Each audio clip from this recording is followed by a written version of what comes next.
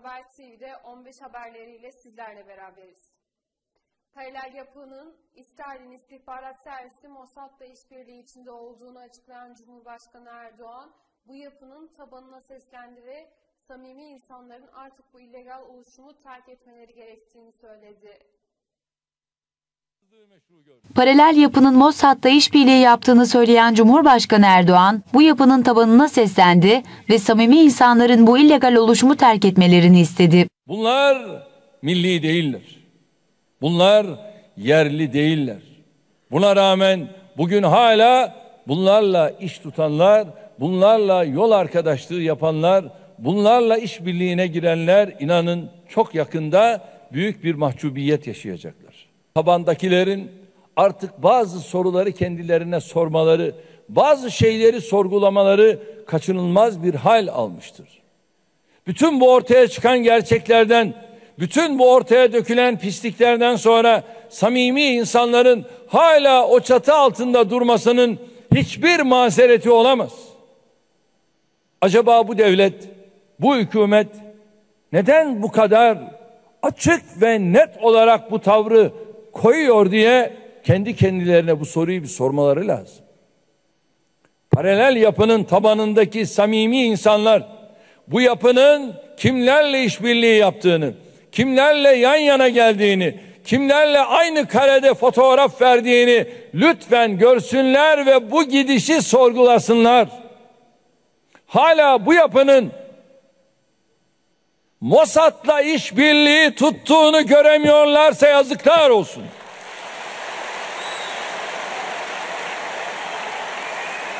İstanbul'da Tüm Sanayici ve İş Adamları Derneği Genel Kurulu'na katılan Erdoğan, 17-25 Aralık darbe girişimi başarılı olsaydı yaşanacakları da anlattı. Sizler belki bu salonda olmazdınız, ben şahsen belki bu kürsüde olmazdım. Soruyorum size.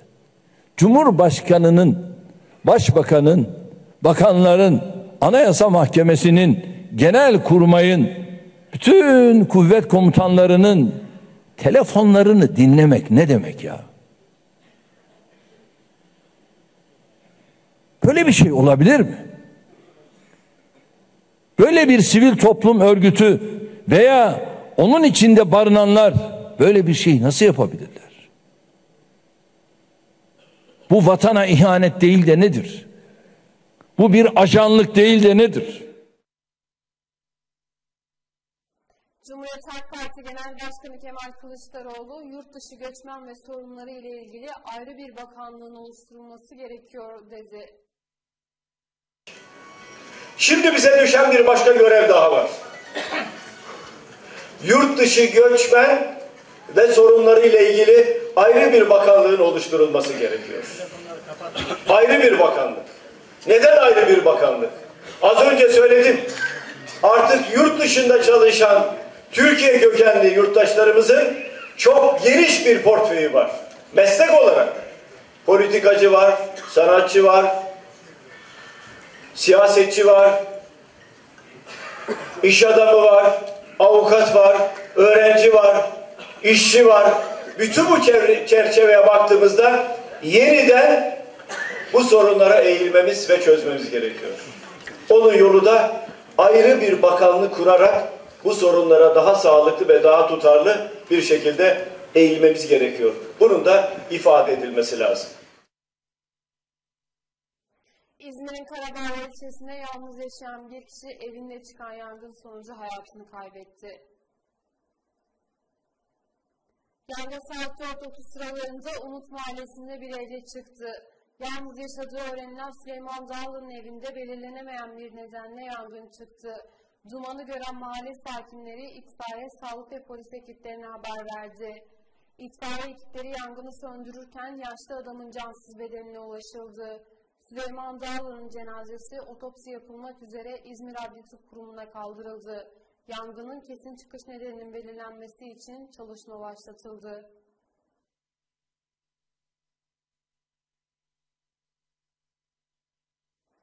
Denizli Büyükşehir Belediyesi Genç Denizli Müzik Kulübü 2015 yılının ilk konserinde gençleri coşturdu.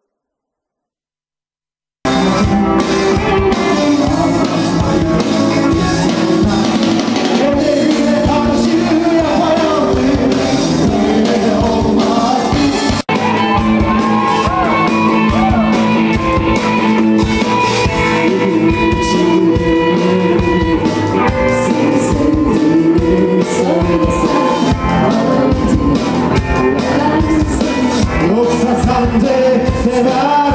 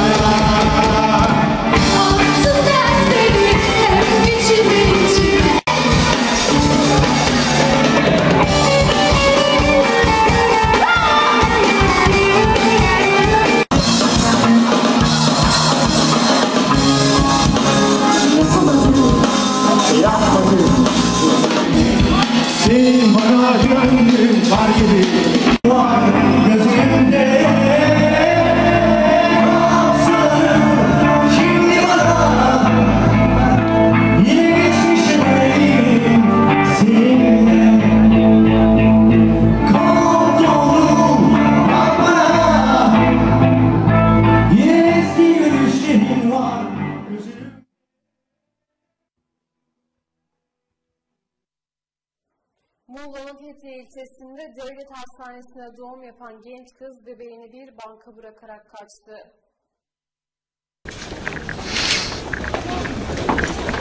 Şu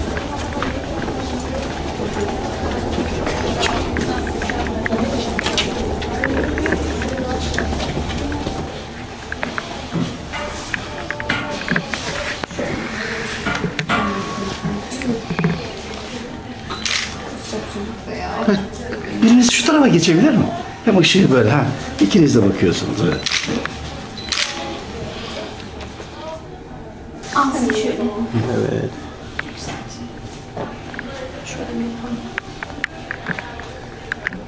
Çok ek. Alıp bana bakabilir misiniz? Bir kere daha. Biz. Buraya. Osman'ım. Bana bak bana buraya öyle. Abla. Abla bir de buraya. Abla bir de buraya bakabilir miyiz?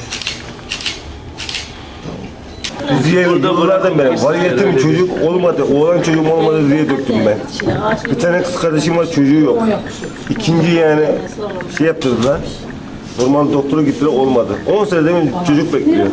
Lan böyle bir cansızlık mı? Başka bir şey demiyorum yani. Allah havalı. Vallahi şu anda kaçırıp Biz de götürdüm yani. Sabah ben bu haberim olsaydı ben bu çocuğu yazık alırdım yani. Bahçeyi onu sizden duyuyorum şu anda bilmiyorum yani.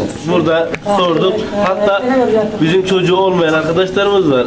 Verirseniz dedik onlara yardımcı olalım dedik ama olmaz dediler. Kardeşim o sebebi veriyor. O ağlıyor böyle çocuk gördüm. Çok seviyor çocukları. Keşke onu alsaydık verseleydik. Siz gördünüz mü çocuğu? Ee, Önceden görmedik. Yeni gördük bizi.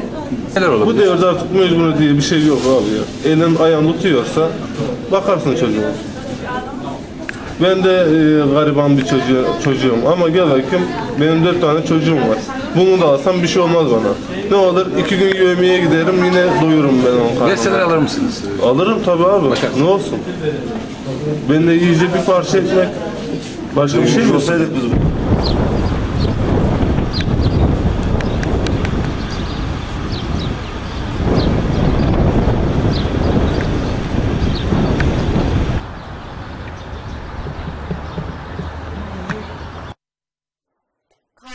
yerini soğuk havaya bıraktı ve Sibirya soğuklarının yaşandığı Erzurum'da süs havuzları ve sokaklar buz tuttu.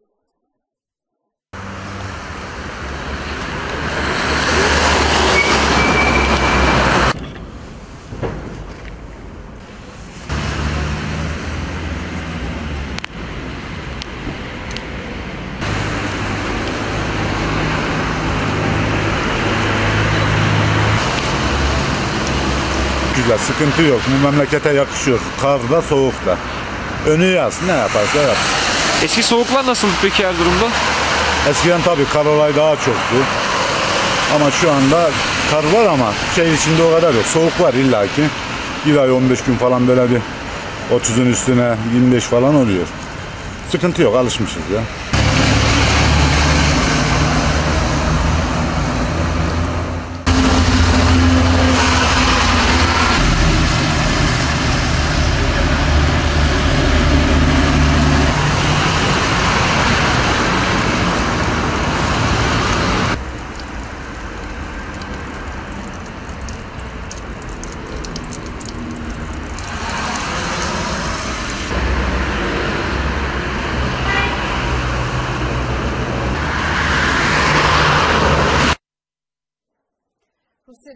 Boşalan tır kavşakta dehşet saçtı. Feci kazada iki kişi öldü.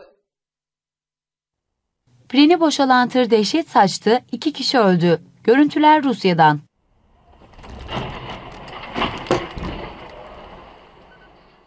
Ülkenin liman kenti Novorossiysk'te freni boşalan bir tır, kontrolden çıkınca kavşakta bekleyen araçların arasına daldı. Feci kazada iki kişi hayatını kaybederken, yaşananlar da saniye saniye kameralara yansıdı.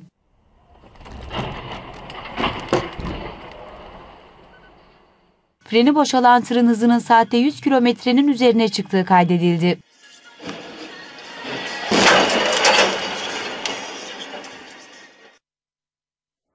Haber TV'de 15 haberlerini sunduk. Daha fazla haber için yüzhaber.com'u ziyaret edebilirsiniz. 18 haberlerinde görüşmek dileğiyle. Hoşçakalın.